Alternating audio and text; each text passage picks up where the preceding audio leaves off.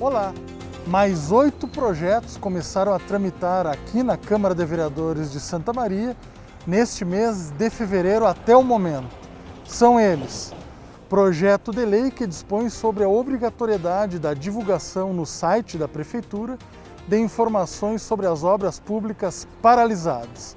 Projeto que autoriza o Poder Executivo Municipal a conceder isenção do Imposto de Transmissão de Bens Imóveis, o ITBI, aos imóveis financiados pela extinta Coab.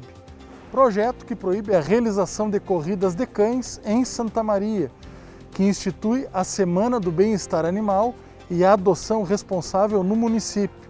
Projeto que cria o diploma Aluno Nota 10 para estudantes do ensino fundamental da rede básica.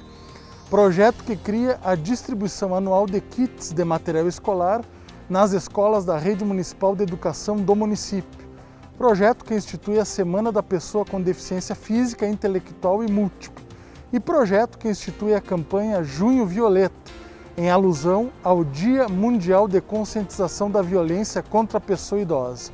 Essas matérias devem passar pelos setores administrativos da Câmara, pelas comissões e pelo plenário. Na manhã do dia 4, o vice-presidente da Câmara de Vereadores de Santa Maria, vereador Paulo Ricardo Siqueira Pedroso, assumiu o comando do Parlamento Municipal.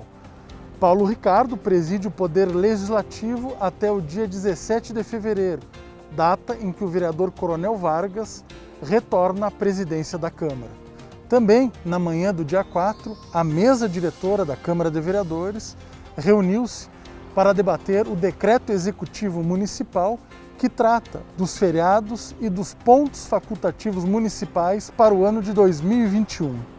Com relação ao feriado de carnaval, os vereadores definiram que o Parlamento Municipal seguirá o que determina o decreto municipal, mantendo ponto facultativo nos dias 15 e 16 de fevereiro.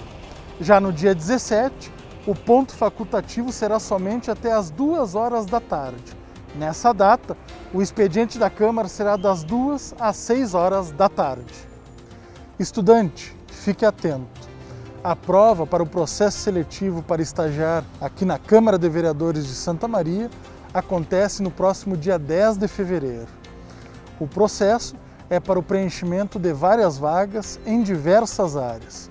Conforme o CIEE, instituição que realizará a prova, tem 200 inscritos de forma preliminar até o momento. E a prova será virtual e poderá ser realizada somente no computador e no notebook. Mais informações você pode obter no site da Câmara. Acompanhe essas e outras notícias também nas redes sociais. No site da Câmara você pode obter mais detalhes sobre os projetos que estão em tramitação.